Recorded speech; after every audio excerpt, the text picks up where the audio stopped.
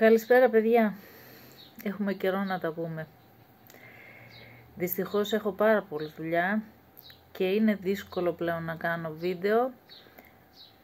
Θα προσπαθήσω ό,τι μπορώ να κάνω για να έχουμε έτσι λίγη ακόμη πληροφόρηση γιατί τα πράγματα τρέχουν ραγδαία και δυστυχώς είναι πλέον πολύ δύσκολα για όλους. Να φτιάξω λίγο την εικόνα μου. Είμαστε σε κατάσταση πολέμου πλέον, όλοι το έχετε καταλάβει, φαντάζομαι. Ε, ξέρετε τι είναι πόλεμος, έτσι. Πόλεμος είναι μια κατάσταση ε, ένοπλη σύγκρουση μεταξύ κοινωνιών ή λαών.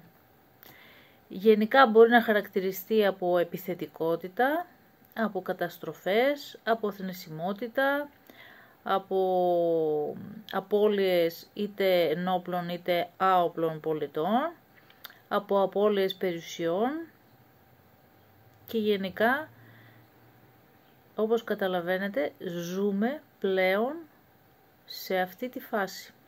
Έχουμε περάσει σε αυτή τη φάση, δυστυχώς. Και πρέπει όλοι λίγο να σοβαρευτούμε και να είμαστε πολύ προσεκτικοί για τις επόμενες μας κινήσεις, γιατί λίγοι θα είναι αυτοί που θα καταφέρουν να επιβιώσουν αλόβητοι. Έτσι θα είναι πολύ δύσκολα τα πράγματα. Ο πόλεμος λοιπόν έχει εξελιχθεί σε βιολογικός, μικροβιακός, με όλους αυτούς τους ιούς που εξαπολύουν και έχουν στόχο να μας δηλητηριάσουν, να μας εξοντώσουν, να χαθεί πολλοί κόσμος. Έτσι. Είναι θρησκευτικός, κυνηγέται η Ορθοδοξία, κυνηγέται η Εκκλησία και θεωρώ ότι ε, θα έρθουν ακόμα και διωγμοί από όλους όσους δεν είναι χριστιανοί και είναι πλέον στη χώρα μας. Ε, μπορεί να είναι κυβερνοπόλεμος, μπορεί να είναι μη συμβατικός πόλεμος ε, με την επίτευξη μιας στρατιωτικής νίκης ε, μέσω συμβολέων, συνθηκολογήσεων δηλαδή, πολιτικών, οι οποίες γίνονται κάτω από το τραπέζι και εμείς δεν θα μάθουμε ποτέ τι ακριβώς γίνεται. Δυστυχώς, εμείς θα μαθαίνουμε τελευταίοι και αφού έχουν παραγραφεί τα εγκλήματα. Ε, οπότε είναι και λίγο δύσκολο, όπως έγινε και με την ε, συνθήκη των Πρεσπών, έτσι. Είναι λίγο δύσκολο να μπορέσουμε να κάνουμε κάτι, γιατί όλο αυτό που ζούμε δεν είναι στιγμιαίο, είναι χρόνια τώρα, με σχέδιο, με στόχο, γιατί εγώ αισθανόμουν ότι από το 2010 ε, μας διώχνουνε. Μας διώχνουν από τη χώρα μας, φυγέτε μας λέγανε, τι θέλετε εδώ, φυγέτε, πάτε να δουλέψετε έξω δούλοι, δούλοι των Γερμανών, δούλοι των Σουηδών, των Ελβετών. Τι δουλειά έχετε εδώ, πάτε γίνετε δούλοι των Άγγλων. Ε, και αναρωτιόμουν γιατί, γιατί να γίνεται αυτό, γιατί απλά θέλουν την Ελλάδα, θέλουν τη γη μας, θέλουν τις περιουσίες μας. Εμάς δεν μας θέλουν εδώ, πρέπει να το καταλάβουμε. Εμείς τους είμαστε εμπόδιο. Γι' αυτό φυσικά και κάνουν ό,τι κάνουν δεν μας θέλουν. Θα μας χρεώσουν, θα κοιτάξουν να μας τα πάρουν με, ακόμα και με αυτά που λέω τα δημοτικά τέλη, έτσι. Όλοι εμείς που είχαμε ακίνητα δυστυχώς υποφέρουμε από τα δημοτικά τέλη. Ο Δήμος αυτή τη στιγμή έγινε εισπράκτορας, μαζεύει χρήμα το οποίο δεν του αξίζει, πληρώνουμε ενίκιο για τα κίνητά μας χωρίς να μας προσφέρουν τίποτα, σχεδόν τίποτα, έτσι, αυτό που προσφέρουν είναι το ελάχιστο. Και ίσως πρέπει δικηγόροι και σύλλογοι να εξαπολυθούν και να κυνηγήσουν τα δημοτικά τέλη και όλους τους δήμους να μειωθούν γιατί είναι υπερβολικά για την εποχή. Η ακρίβεια αυτή είναι τεχνητή, είναι υπερβολική. Δεν μπορεί ο μισθός να είναι 5 εκατοστάρικα και να έχει φτάσει στο ρεύμα 2 εκατοστάρικα. Και φυσικά μην περιμένετε να γίνουν μόνα τους όλα αυτά. Πρέπει να αγωνιστείτε, πρέπει να οργανωθείτε, πρέπει να κυνηγήσουμε, πρέπει να κάνουμε πορείες, πρέπει, πρέπει, πρέπει. Αν και με τις πορείες εγώ είμαι κατά, τέλος πάντων, είναι αυτό το είδος της αντίδρασης που μας επέβαλαν, γιατί πιστεύουν ότι δεν μπορούμε να κάνουμε τίποτα άλλο. Πιστεύω ότι μπορούμε να κάνουμε πολλά, αρκεί να θέλουμε. Και έχουμε αποδείξει ότι δεν θέλουμε σε πολλά πράγματα. Θέλουμε να είμαστε χαλαρουίτα. Έτσι. Περιμένουμε πότε θα ανοίξουν όλα τα καφέ, λες και το καφέ είναι η ζωή και αν δεν πάμε στο καφέ πεθάναμε. Αν δεν βγούμε έξω πεθάναμε.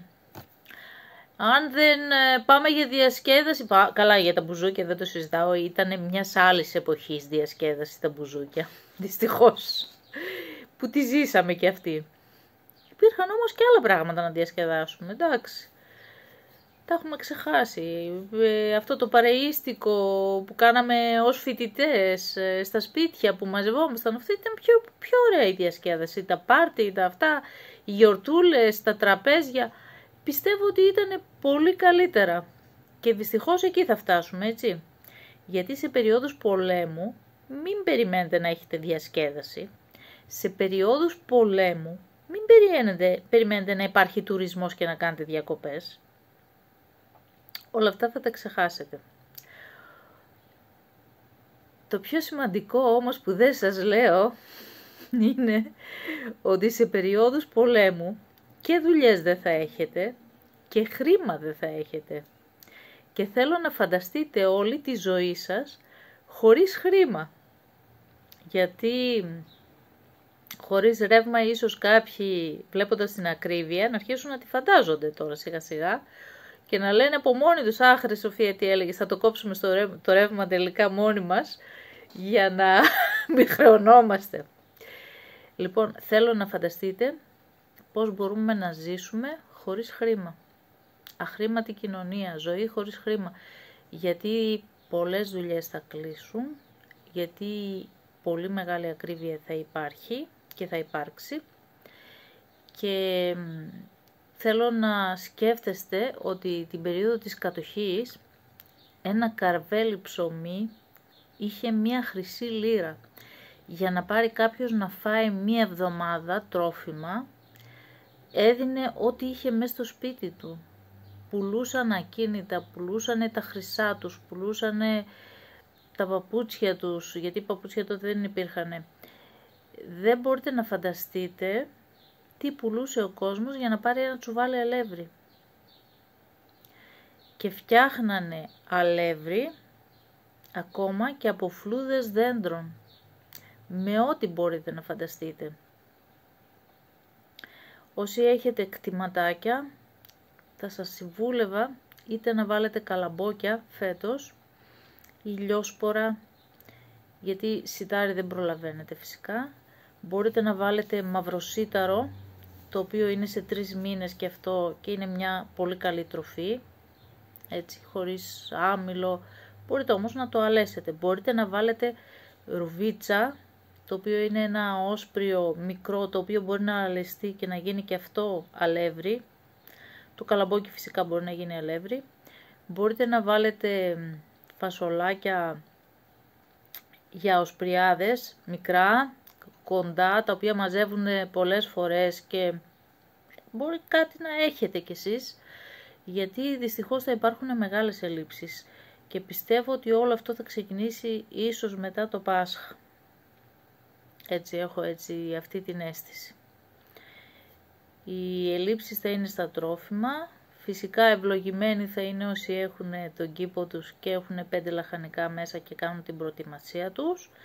Ε, δεν σημαίνει ότι πρέπει να σταματήσει ο κήπος. Ο κήπος πρέπει να είναι συνεχώς και αδιαλείπτος ενεργός. Έτσι, τώρα θα βάλετε τα καλοκαιρινά σας, ντοματούλες, πιπερίτσες, κολοκυθάκια, κολοκύθες βάλτε χειμερινές που κρατάνε, και όλα αυτά που χρειάζεται να έχει ένα σπίτι. Θα κάνετε τη σάλτσα σας, θα αποξηράνετε τις ντοματούλες σας λιαστές, θα αποξηράνετε ε, φρουτάκια, σταφίδες, ε, σίκα, ό,τι μπορείτε. Κάντε κομπόστες, αποθηκεύστε σε κονσέρβες. Ε, κάντε σάλτσες ε, διάφορες οι οποίες είναι τύπου κέρτσαπ και μπορούν να λεφθούν στο, στο ψωμάκι και να φάτε κάτι. Ε, και φυσικά θα βάλετε και κήπο για το χειμώνα.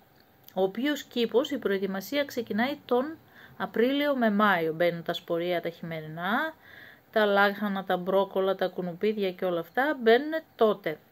Έτσι. Και μεταφυτεύονται στο χώμα περίπου τον Αύγουστο. Πράσα, σας συμβουλεύω και κρεμμυδάκια να βάλετε πολλά. Τώρα μπαίνουν για να κάνετε ξερά. Από τώρα για να τα μαζέψετε το καλοκαίρι. Ε, γιατί ίσως και κρεμμύδια να μην έχει. Και τα κρεμμύδια είναι το νούμερο ένα για το φαγητό, έτσι νοστιμίζει το φαγητό και θα σας βοηθήσει. Όσοι με ακολουθήσατε με τα χόρτα, παίρνω μηνύματά σας που λέτε ότι πήραμε τα άγρια χόρτα και μαζεύουμε ραδίκια από τον κήπο και είμαστε πολύ ευχαριστημένοι, είναι πολύ ευχάριστο. Είναι πολύ ωραία διαδικασία, είδατε δεν έχει κόπο, μία φορά το κάνεις και μετά μαζεύεις την άνοιξη.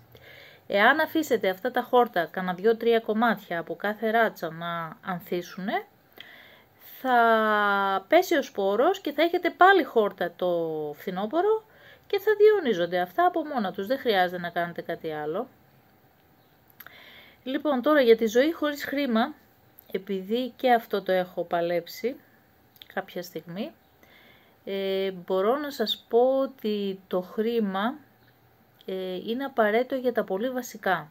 Δηλαδή, ό,τι λίγα χρήματα θα έχετε, θα φροντίσετε να τα έχετε για βασικές ανάγκες και όχι για πολυτέλειες, θα κοιτάξετε να παίρνετε τρόφιμα μακράς διαρκείας, να παίρνετε πρώτες ύλες και να παρασκευάζετε μόνοι σας τα τρόφιμα. Δηλαδή θα πάρω αλεύρι και θα κάνω ψωμί, έτσι. Θα πάρω, λέμε τώρα ρύζι, θα πάρω όσπρια να αποθηκεύσω, θα πάρω φακές, ε, φυσικά τα γυάλινα μπολάκια πρέπει να είναι ο τύπος αποθήκευσης πρέπει όλοι να έχετε για να μπορέσετε να οργανωθείτε σε κάποιο σιβάν. Έτσι, και καλό είναι όσο μπορείτε να, να ψωνίζετε μεγάλες ποσότητες και να, τη, να τις μοιράζεστε για να πιάνετε και καλές τιμές. Δηλαδή, θέλουμε να πάρουμε ας πούμε πατάτες, παραγγέλνουμε ένα τσουβάλι πατάτες και το μοιραζόμαστε με τους διπλανούς, με τους συγγενείς κτλ. Έτσι πετυχαίνετε και καλύτερες τιμές από το να πηγαίνετε στο σούπερ μάρκετ. Θεωρώ ότι κάποια στιγμή οι τιμές στο σούπερ μάρκετ θα ανεβαίνουν καθημερινά και οι υπάλληλοι δεν θα προλαβαίνουν να αλλάζουν τις τιμές. Θα υπάρξει τέτοια ραγδαία αύξηση που δεν θα προλαβαίνουν. Έτσι, καλά όταν βγάζουν μια προσφορά δεν θα προλαβαίνουν, θα, θα περιμένει ο κόσμος ουρές, ουρές απ' έξω θα είναι στημένοι για να πάρουν, ε, ξέρω εγώ, ένα μπουκάλι λάδι. Λάδι αποθηκεύστε όσο μπορείτε. Είπαμε ζάχαρη, αλάτι, ξύδι, πολύ βασικά για τρουσιά και ε, οπωσδήποτε, οπωσδήποτε αποθηκεύστε αέριο. Το αέριο από 17 ευρώ όταν είχαμε κάνει το βίντεο έχει φτάσει 30, 29-30 και ίσως φτάσει και 50. Δυο μποτίλιες δεν είναι τίποτα να έχουμε όλοι. Ε, για πάνω ενδεχόμενο. Κεράκια πάρτε, μην ξεχάσετε και ηλιακά φωτάκια. Κάποιοι έχουν αρχίσει ήδη και οργανώνονται σε ομαδούλες, είναι πολύ ευχάριστο αυτό. Έτσι έχει κάποιος το χωράφι, χρειάζονται χέρια, άλλος βάζει τα εργαλεία, άλλος βάζει τους σπόρους και ξεκινήσαν να κάνουν κάποιες μικρές παραγωγές. Μπράβο σας για όλη αυτή την προσπάθεια, ακόμα και αν αποτύχει, δεν θέλω να το βάλετε κάτω, γιατί είναι μάθημα για την επόμενη χρονιά και εμείς μέχρι να αρχίσουμε να καλλιεργούμε και να βγάζουμε προϊόντα έτσι όπως πρέπει, φάγαμε τα νιάτα μας και την ομορφιά μας που λέει κάποιος, ε, φάγαμε πολλές παπάρες μέχρι να αρχίσουμε να τρώμε ντομάτες. Λοιπόν, ε, θέλω, το βασικό είναι η συνεργασία, δηλαδή η συνεργατικότητα η ανταλλαγή, ε, όλα αυτά παίζουν πολύ μεγάλο ρόλο. Ε, θα πρέπει να βρείτε, εσείς που είστε της πόλης, να βρείτε άτομα τα οποία είναι στα χωριά και έχουν κτηματάκια και να συμβάλλετε στο να καλλιεργήσει κάποιος ή να εκτρέψει κάποιο ζώο το οποίο όταν θα σφάξει θα πάτε να πάρετε. Δηλαδή μπορεί κάποιος να βάλει ένα μοσχαράκι και κάποια στιγμή να μοιραστείτε το κρέας, έτσι και να έχετε για όλο το χρόνο κρέας. Αυτά είναι πράγματα τα οποία τα εφαρμόζουν οι Ελληνοπόντιοι, οι φίλοι μας εδώ στην Ελλάδα, και αν δείτε δεν ψωνίζουν τίποτα από τα μάρκετ, τίποτα από τους Έλληνες, μεταξύ τους αλληλοστηρίζονται και πρέπει και εμείς να παίρνουμε μαθήματα από αυτό.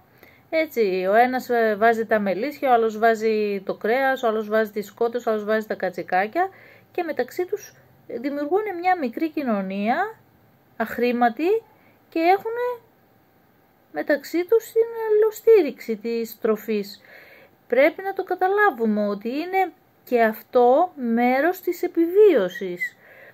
Δεν μπορεί, δεν μπορεί ο άλλος που κάθεται και έχει τον ωραίο του το μισθό να περιμένει να πάρει τζάμπα το αυγό ή το κρέας από τον χωρικό γιατί νομίζει ότι είναι τζάμπα, κοστίζει πολλά παιδιά σήμερα να εκτρέψεις σε ένα ζώο.